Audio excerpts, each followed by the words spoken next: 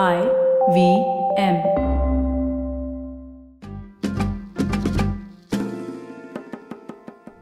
I have to talk about the background score, guys. So I want the same kind of audacity that Rajesh Roshan has in this film, because Rajesh Roshan has has used the background score of three of the most iconic films from that time, and he's literally copy pasted them. One is the Terminator.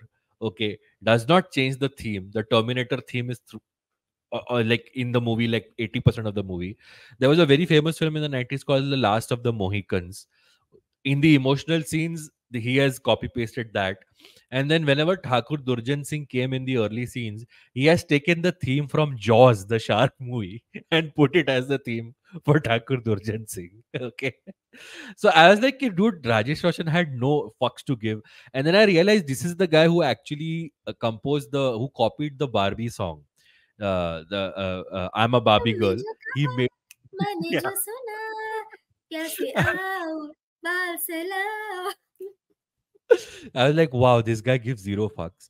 Um, I also want to talk about uh, in the song after the song uh, uh, J- So Jati no Ho no, Main I have Jaldi Hai to Kya? talk about uh, हाँ. राजेश रोशन only. Uh, so Yeah, वो yeah, जो yeah. गाना है तो राजेश रोशन ने इतनी जगह से कॉपी करके यहाँ पे डाला है ठीक है हाँ. And my problem is that कि कैसा है ना कि it's we always why do we look down upon all these music directors who copied things from Hollywood? It was hmm. their way of ensuring that अगर हम कहीं परदेश में जाए तो उधर अगर कोई ऐसा कोई गाना लगाए we should not feel alienated क्योंकि वहाँ पे वो चला रहे हैं इट्स फाइनल काउंटडाउन में like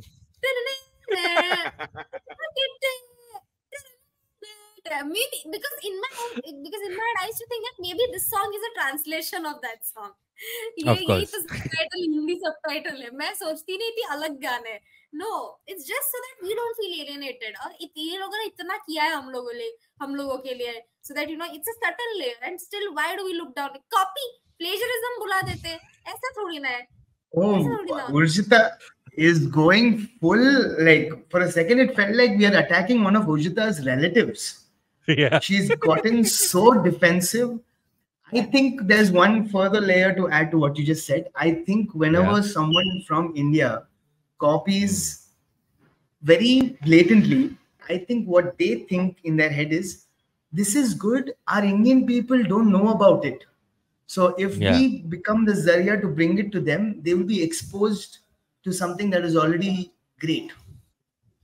So nobody, very rarely do people like change whatever they are trying to get inspired from for the Indian subtext. They just think that if we do that in in Indian setting, it will be done. There will be no Yeah. much thing. Yeah. I, yeah. I don't agree with Urjita's point about uh, us going abroad and feeling left out. I think we always overpower and being all like, your music is trash. Have you heard what we have to offer? so that's generally our vibe. But um, it's it's uh, interesting that you picked out the three uh, uh, collaborations that Rajesh Roshan did in his head yeah. with the different movies yeah. as as uh, Yeah.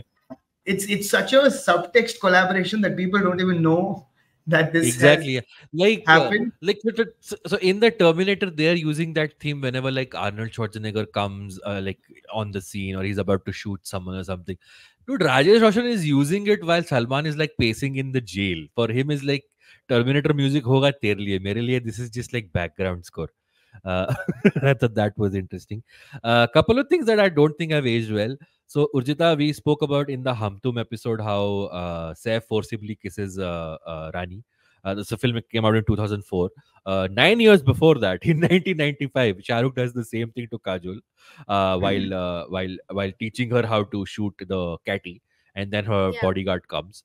Um, this film also has the whole thing of uh, another thing we have uh, talked about in the Mehuna episode, where the tomboy has to become a girl in order to impress the guy.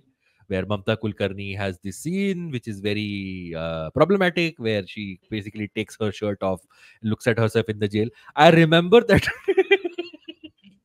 Urjita Yeah, is yeah. is recre- Not just this, recreating that scene with clothes. yeah, she has to look twice uh, uh, in the frame. I, re- I don't remember much of what the reaction was for this, but in the theater, the when when that scene came, everybody was marrowing CTs and uh, hooting at the screen. So that happened. Um, Because they had The shown whole- her back, her bare back Yeah, for no yeah. reason. There was no reason.